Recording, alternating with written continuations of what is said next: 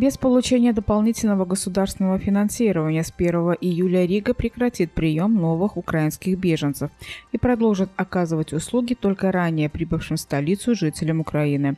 Об этом проинформировал председатель Рижской думы Мартин Штакис. В настоящее время в столице находится 16 600 беженцев, в Даугавпилсе 567. И, как сообщил мэр города Андрей Элксниш, из-за сокращения финансирования изучается возможность расселения беженцев с Украины Украины в городских спортзалах, поскольку у самоуправления нет необходимых средств на оплату их размещения в отелях. Также Дума призывает владельцев частных квартир предлагать жилой фонд украинцам. Как известно, с 1 июля значительно уменьшится государственная поддержка размещения беженцев. Она будет начисляться из расчета 3,5 евро в сутки, и очевидно, что этого недостаточно. Тем более в тех случаях, когда речь идет о расселении украинских беженцев в туристическом секторе. Поправки к закону о поддержке гражданских лиц также предусматривают первичную поддержку в размещении всех беженцев из Украины на срок до 120 дней, но не дольше, чем до конца текущего года. Во-вторых, поправки к закону предусматривают, что физические и юридические лица смогут получать компенсацию за проживание беженцев на срок до 120 дней, но не дольше, чем до 31 декабря текущего года. В свою очередь, питание граждан Украины, обратившихся за ним с 25 мая, предоставляется на срок до 30 дней. По имеющимся данным, с начала войны в Украине в Латвии зарегистрировано около 32 тысяч украинских беженцев. Около 26 тысяч получили вид на жительство с правом на трудоустройство. Уже в этот четверг на заседании депутатов самоуправления будет рассмотрен вопрос об обращении Даугавпилской городской думы в Конституционный суд с намерением оспорить правомерность принятого 13 Сеймом закона о запрете экспроприирования объектов, прославляющих советские нацистские режимы, и их демонтаже на территории Латвийской Республики. В подготовленном проекте решения указано, что на территории Даугавпилса есть объекты, которые необходимо снести до 15 ноября текущего года. На выполнение этих работ государство готово выделить финансирование в размере 50% от общей стоимости произведенных работ. Оставшиеся 50% – это доля самоуправления, что городской муниципалитет категорически не устраивает. Дело в том, что средства на демонтаж памятников в бюджете города на 2022 год не предусмотрены. Самоуправление Даугавпилса подчеркивает, что при разработке и принятии закона о запрете экспонирования объектов, прославляющих советские нацистские режимы, их демонтаже на территории Латвийской Республики мнение Думы не запрашивалось. Даугавпилское самоуправление убеждено, что целый ряд статей в законе не соответствует статьям 1 и 101 Конституции Латвии. То есть речь идет о принципе самоуправления. В частности, речь идет о несоблюдении принципа эффективного законодательства, который не был соблюден при принятии закона. Муниципалитет также ссылается на обязательную для Латвии Европейскую хартию о местных самоуправлениях, первая часть статьи 3 которой гласит «Местное самоуправление означает право и способность местных властей регулировать и управлять значительной частью государственных дел по своему усмотрению, под свою ответственность и в интересах местного населения.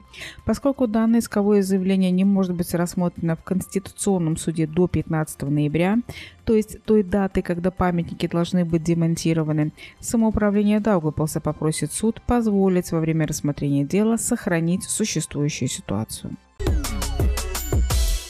В Латвии наблюдается резкий рост случаев заболевания COVID-19. Так, за последние сутки в стране было зафиксировано 824 новых случаев инфицирования коронавируса. Три пациента-ковидника, которые входили в возрастные категории от 60 до 89 лет, скончались.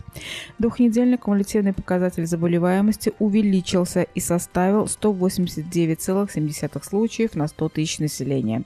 Вчера было проведено 3588 лабораторных тестов на COVID, из которых 23% оказались положительными. В настоящее время в Даугавпилсе COVID-19 был констатирован у 105 горожан, а в Аугждаугавском крае у 64 жителей. В целом по стране с начала пандемии коронавирус лабораторно был подтвержден более чем у 830 тысяч латвийцев. Предприятие Даугапил Силтум Текли обращается к горожанам, которые являются клиентами городских теплосетей с просьбой увеличить сумму предоплаты за тепловую энергию в летний период, чтобы в зимний нагрузка на семейный бюджет не была бы столь неподъемной. В настоящее время предоплата за тепло рассчитывается в размере 30 евроцентов за квадратный метр. Специалисты Даугапил Силтум Текли предлагают для определения размера предоплаты в летний период учитывать средний расход тепловой энергии в соответствующей квартире за предыдущий год. Консультацию по определению размера предоплаты для сбалансированного платежа можно получить в отделе обслуживания клиентов предприятия Даугапил Силтум Текли. Для увеличения предоплаты необходимо заполнить заявку с указанием желаемой суммы за квадратный метр. Образец заявления можно найти на сайте предприятия Даугапил Силтум Текли и затем его следует отправить на электронную почту предприятия dsiltumtikli.apollo.lv. В понедельник состоялось заседание Совета акционеров предприятия «Дитон Певатки Журупница», на котором было принято решение разрешить правлению продать часть активов компании. Об этом свидетельствует решение собрания акционеров.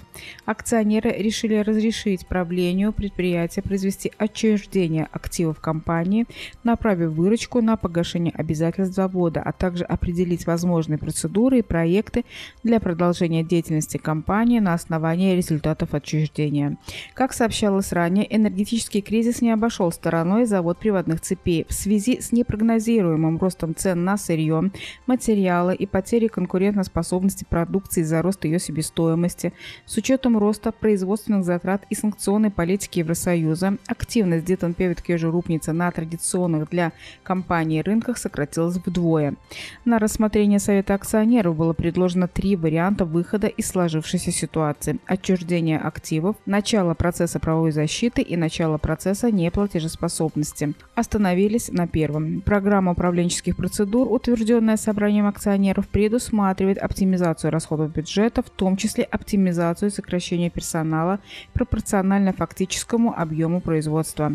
Кроме этого, предусмотрена оптимизация основных средств, в том числе полная или частичная продажа недвижимого имущества и заключение долгосрочных договоров об аренде производственных площадей, необходимых для выполнения фактических объемов заказов. Программа мероприятий также предусматривает оптимизацию основных средств путем продажи остального имущества компании, если оно не используется или не планируется его использование для собственных и производственных нужд компании. Оптимизация также включает в себя приостановку финансирования программ по замене и модернизации основных средств, отказ от договорных обязательств со специализированными организациями по техническому содержанию, обслуживанию и текущему ремонту основных основных средств, использование собственных ресурсов для проведения аварийных и текущих ремонтов, в том числе слияние профессий. В прошлом году оборот предприятия по производству приводных цепей составил 5 миллионов 275 тысяч евро, прибыль компании достигла 130 тысяч 734 евро. В первом квартале этого года оборот Дитон Певатки Журупница составил почти полтора миллиона евро. С 4 по 8 июля на территории Свенской волости Акжаговского края пройдут военные учения 36-го батальона боевой поддержки ЗМСАРДЗ с использованием военной транспортной техники. Программа подготовки предусматривает оттачивание уже имеющихся и приобретенных новых навыков для укрепления боеспособности подразделения. В тренировке примут участие около 25 военных, которые будут передвигаться по общественным и лесным дорогам на военных автомобилях, выполняя задачи в светлое и темное время суток. В ходе учений не будут использоваться боеприпасы или имитационные средства. С 1 июля в 18 часов в парке Дубровина пройдет традиционный праздник «Белорусское купалье». Его организатор Центра белорусской культуры подчеркивает, что в этом году он пройдет в формате деревенского променада. Как известно, День летнего солнцестояния – один из важнейших праздников календарного колеса, издревле отмечаемый у многих народов мира. В Латвии это праздник Лигуа. Белорусы же с особым размахом отмечают праздник Ивана Купалы в ночь с 6 на 7 июля. И уже в эту пятницу в парке Дубровина на Лужайке возле Фонтана состоится концерт всех творческих коллективов Центра белорусской культуры. Ансамбля белорусской народной песни «Купаленко», танцевального ансамбля «Ленок», вокального ансамбля «Пролески», хоровой капеллы «Спадчина», а также театральной студии «Паулинка» и детской студии «Скарбница». Здесь же в парке Дубровина будут работать мастер-классы по изготовлению белорусской ляльки, аппликации вытянанки. Также можно будет собрать полевой букет или составить сокровенное желание на дереве желаний, отведать волшебный купальский напиток, сфотографироваться в купальском венке. Центр белорусской культуры обращает внимание на то, что в случае плохих погодных условий мероприятие не состоится.